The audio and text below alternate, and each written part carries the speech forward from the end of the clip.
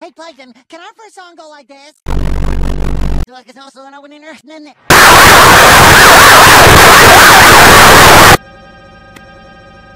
You eat all my.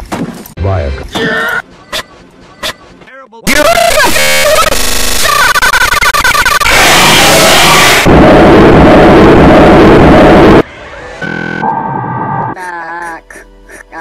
That's not how you use rhetorical questions, right?